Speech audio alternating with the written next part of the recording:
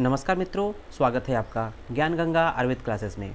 Myself doctor Anil Kumar Patel MD रचना सारीर आज के विषय में हम लोग ओवेरियन साइकिल के बारे में बात कर रहे हैं। तो इससे पहले हम लोगों ने ओवेरियन साइकिल का जो फ़र्स्ट फ़ेज़ था, अर्थात हम लोगों ने ओवेरियन साइकिल को कहीं ना कहीं तीन पार्ट में बांटा था थ्री फेजेज में बांटा था।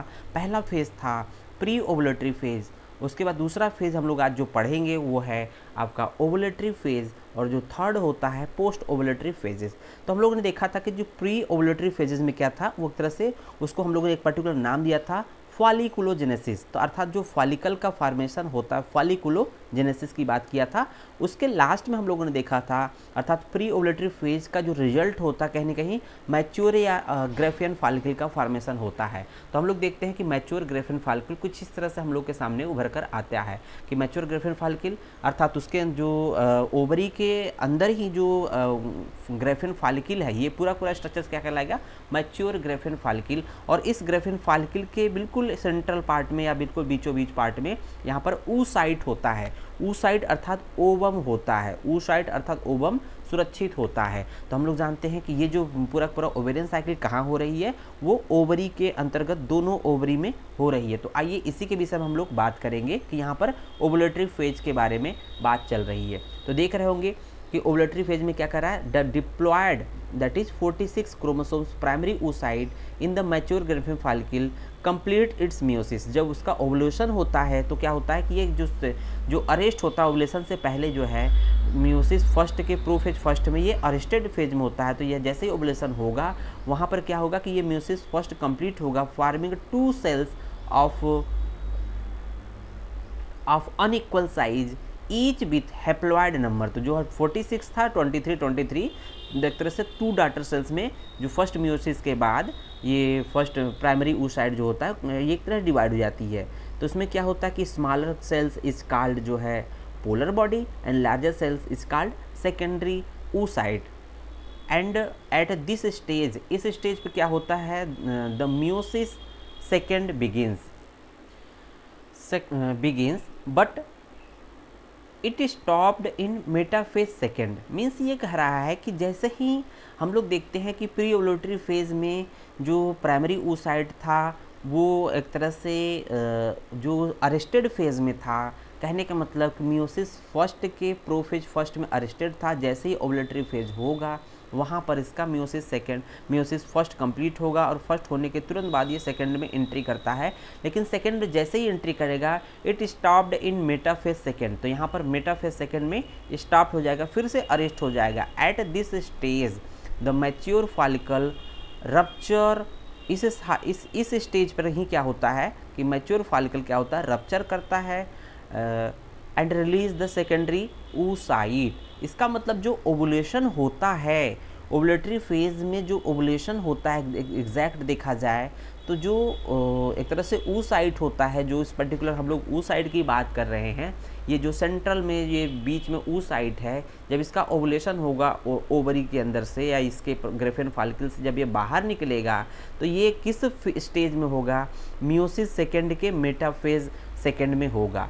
At this stage the mature follicle rupture and release the secondary oocyte तो इस तरह से हम लोग बात करेंगे। आइए बात करते हैं डिटेल में ओवुलेशन के बारे में बात करते हैं। अर्थात कि ओवा का ग्रेफियन फॉलिकल से तो ग्रेफियन फॉलिकल जो फॉर्मेशन हो रहा है ओवरी के अंदर है तो कहीं ना कहीं एक साथ ढेर सारे एक साथ फार्कल ग्रेफियन फॉलिकल का निर्माण बट मतलब की दिशा में बढ़ते हैं हर एक साइड्स बट अल्टीमेट लास्ट में कहीं ना कहीं एक मैच्योर ग्रेफिन फाल्किल्स एक समय में एक ही मैच्योर ग्रेफिन फाल्किल फॉर्मेशन होता है। जब फॉर्मेशन हो जाएगा तो इसका जो ऊ साइट है ये पूरी घटना किसमें हो रही है? पूरी घटना जो हो रही है ओवरी के अंदर हो रही है। तो यहाँ पर एक मैच्योर ऊ साइट है और मैच्योर ग्रेफिन फालिकिल है इसमें एक ऊ साइट है। अब ये धीरे धीरे यहाँ से इस, इसकी वाल से यहाँ पर धीरे धीरे इधर आता है और ये बर्स्ट होता है और बाहर निकलता है। तो देखेंगे ओबुलेशन के बारे में। ओबुलेशन कहते किसे हैं? इसको देख लेते हैं। Ovulation is the shedding of ovum from the ovary is called ovulation तो ओवुलेशन को सिंपली डिफाइन किया गया है शेड ऑफ़ कहते हैं ना कि शेड ऑफ़ मीन्स उसकी वाल को, अर्थात वाल को मतलब क्या है?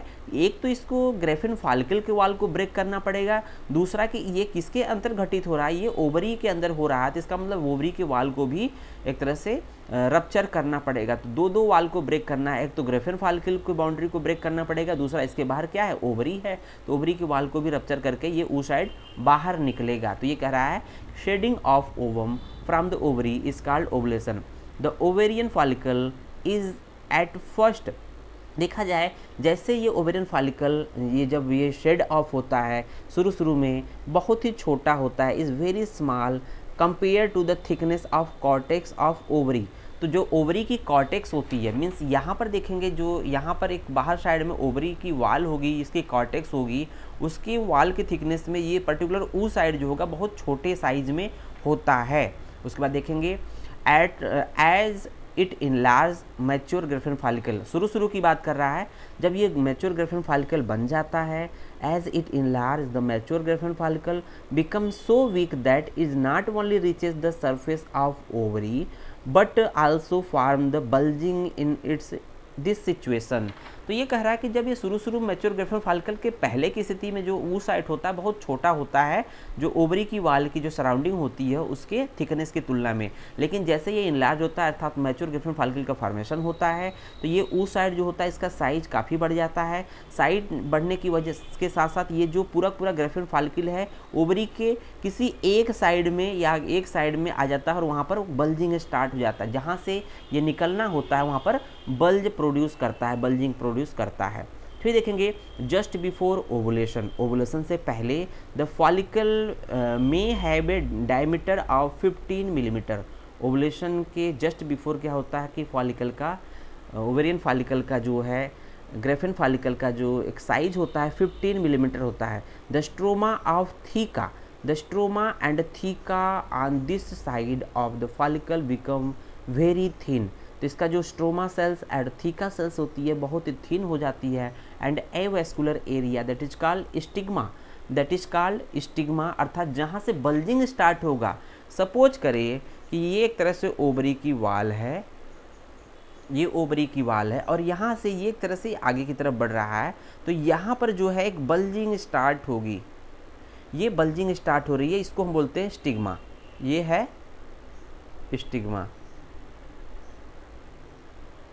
ये स्टिग्मा है। यहाँ पर जो बल्जिंग स्टार्ट होगी दैट इज़ कॉल स्टिग्मा तो यहाँ कह रहा है कि just before the ovulation follicle में have the diameter of 15 millimetre the stoma and theca on this side of the follicle become very thin तो यहाँ का जो स्ट्रोमा स्ट्रोमल सेल्स और थीकल सेल्स बहुत ही थिन हो जाते हैं एक तरह से फॉलिकल की। फॉलिकल के बारे में बात कर रहा है। Avascular area that is stigma appear on the most convex point of the follicle at the same time the cells of cumulus oophorus तो cells of cumulus oophorus become loosened by accumulation of intercellular fluid between them तो यहाँ देख रहे होंगे कि यहाँ पर जो मेच्योर ग्रेफर फालिकल होता है, उसमें जो एक सेल होता है दैट इज़ ये काल है, ये है कुमुलस ऊफोरस तो कुमुलस ऊफोरस क्या होता है कि ये पहले बहुत ही आपस में चिपके होते हैं एक दूसरे से, लेकिन इसके बीच में वाटरी फ्लूड कंटेंट बढ़ने की वजह से इंटरसेलर फ्लूड बढ़ने की वजह से, यहाँ पर ये लूज हो जाते हैं एक दूसरे से तो लूज होने की वजह से क्या होता है ईजिली ये एक तरह से इसको बर्स्ट करके बाहर निकलने की कोशिश करता है।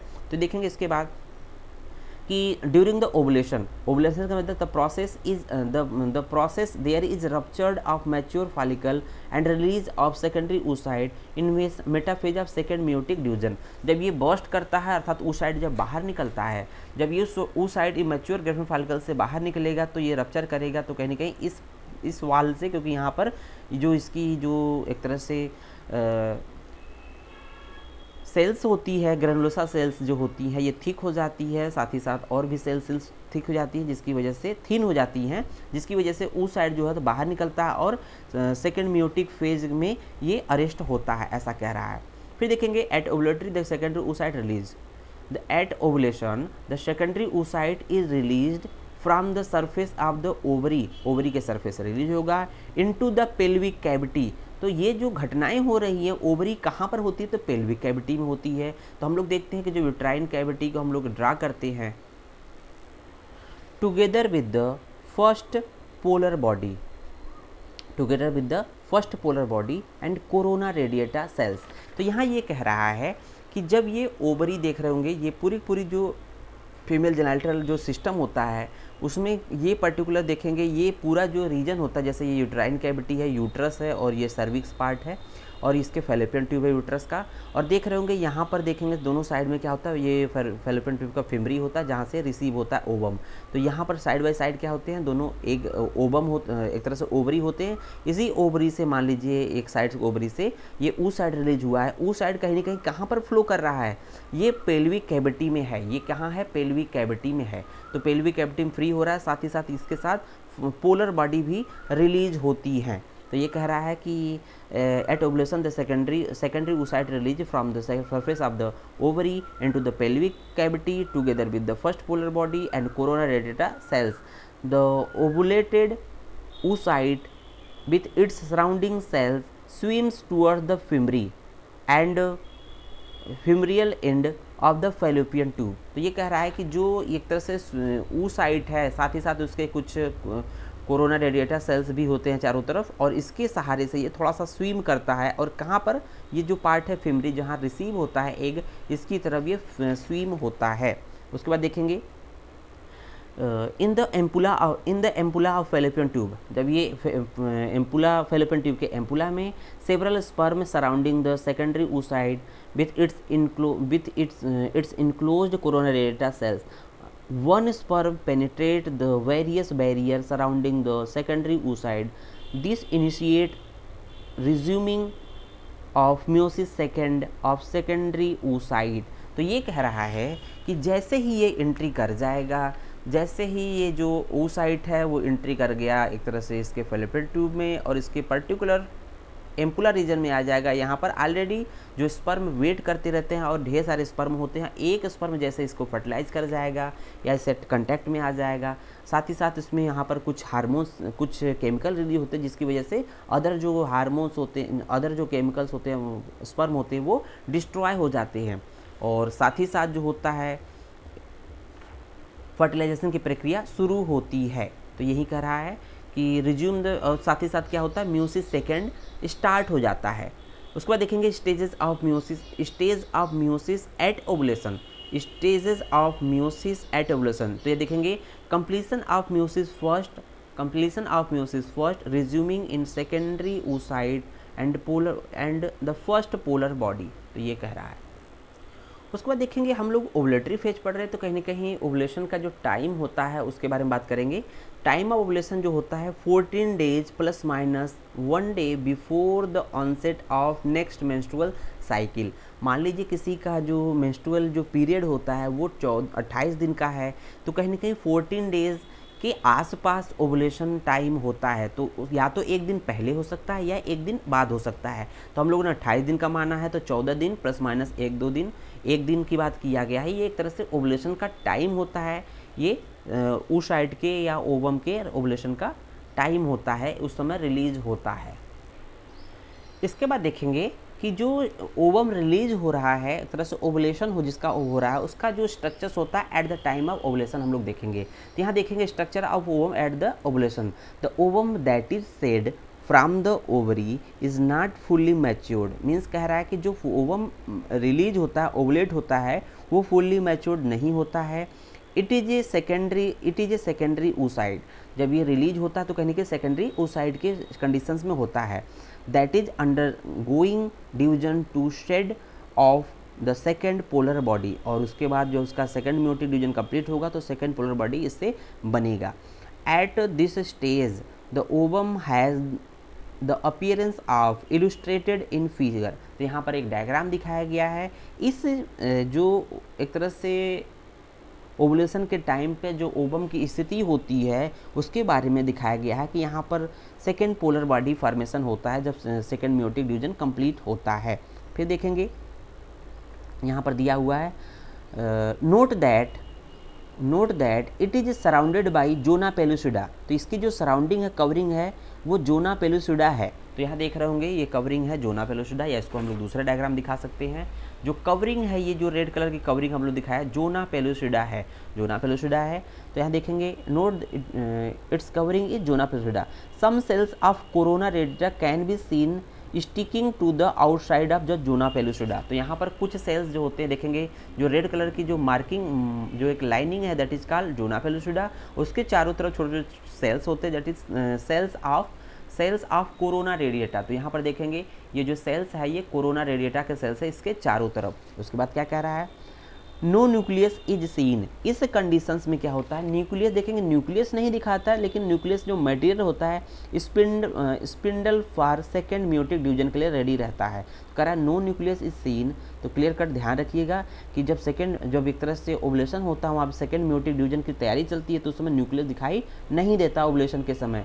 No nucleus is seen as the nuclear membrane has dissolve जो न्यूक्लियर मेम्ब्रेन था इससे पहले एक तरह से मैच्योर ग्रेफिन फार्किल के केस में, वो डिजॉल्व हो जाता है तो मैच्योर जो ग्रेफिन न्यूक्लियर मेम्ब्रेन डिजॉल्व होगा तो उसका जो न्यूक्लियर जो न्यूक्लियोप्लाज्म होगा, वो कहीं ना कहीं साइटोप्लाज्म के साथ मिल जाएगा। और मिल जाएगा, साथ ही साथ जो न्यूक्लियर मटेरियल होगा, अब वो आगे की तरफ़ डिवाइड होने के लिए तैयार है। तो कह रहा है no nucleus is seen as the nuclear membrane has dissolve for the second meiotic division a spindle is however present तो यहाँ पर कह रहे हैं, देख रहे हैं ये स्पिंडल फार्म जो है, जो क्रोमोसोम्स हैं spindle form spindle for second meiotic division तो स्पिंडल फार्म में है प्रेजेंट बिटवीन द फिर उसके बाद देखेंगे between the cell membrane or vitelline membrane जिसको कहते हैं एंड जोना पेलोसुडा तो यहाँ पर देख रहे होंगे कि यहाँ की सेल मेम्ब्रेन और यहाँ पर जो सेल मेम्ब्रेन है and zona pellucida between the cell membrane that is called vitelline membrane तो हम लोग इसको देख रहे हैं कि ये सेल मेम्ब्रेन और विटेलाइन मेम्ब्रेन के बीच में क्या है? Cell membrane and vitelline membrane cell membrane that is called vitelline membrane and zona pellucida a distinct perivitelline space is seen तो यहाँ पर देख रहे होंगे कि एक तरह से जो जोना पेलोसुडा और जो सेल मेम्ब्रेन है एक तरह से इन दोनों के बीच में एक प्री विटेलाइन स्पेस की बात की गई। जो स्पेस है ये अब लोगों ने जिसको कलर नहीं किया है, जोना पेलोसुडा और सेल मेम्ब्रेन के बीच में जो स्पेस है, that is called perivitelline space. तो इसको हम लोग देख नाम देते हैं प्री विटेलाइन स्पेस। तो ये स्पेस है, इसी प्री विटेलाइन स्पेस में फ़र्स्ट पोलर बॉडी रेस्ट करती है, पड़ी रहती है। तो इसी प्री विटलाइन स्पेस में फ़र्स्ट पोलर बॉडी पड़ी रहती है। तो देखेंगे the first polar body lies in this space तो प्री विटलाइन स्पेस में ही फ़र्स्ट पोलर बॉडी पड़ी रहती है। Note that the ovum is very large cells and measures more than hundred hundred to one twenty micrometre in diameter in contrast most other cells of the body measure less than ten micrometre तो देखा जाता है बोला जाता है largest largest cells of the body that is called ovum or egg cell बोला जाता है। इसलिए इसका जो साइज़ है 100 टू 120 माइक्रोमीटर है और जबकि अदर बॉडी के जो सेल्स होते हैं 10 माइक्रोमीटर होते हैं। तो यहाँ पर कुछ दिया डिफरेंस बिटवीन दस इस तरह से। तो यहाँ पर देख रहे हैं कि कुछ इस तरह से हम लोगों ने एक तरह से structure of ovum at the time of ovulation बताया गया है कि जो इसकी कवरिंग होती है पूरे मटेरियल की, वहाँ पर क्या होता है, जोना पेलोसुडा होता है। उसके चारों तरफ़ सम सेल्स ऑफ़ जो है कोरोना, कुछ कोरोना रेडिएटा कुछ सेल्स होते हैं और कहीं ना कहीं देखेंगे यहाँ पर जो सेल मेम्ब्रेन है था न्यूक्लियस का जो सेल मेम्ब्रेन है और जोना पेलोसिडा के बीच में एक स्पेस होता है that is called perivitelline space बोलते हैं। इसी प्री विटेलाइन स्पेस में फ़र्स्ट पोलर बॉडी पड़ी होती है, जो इसका न्यूक्लियर मटेरियल होता है स्पिंडल फार स्पिंडल फार में होता है, जो कि सेकेंड म्यूटिक डिवीज़न के लिए रेडी होता है। तो ये एक तरह से structure of ovum at the time of ovulation दिखाया गया है। धन्यवाद।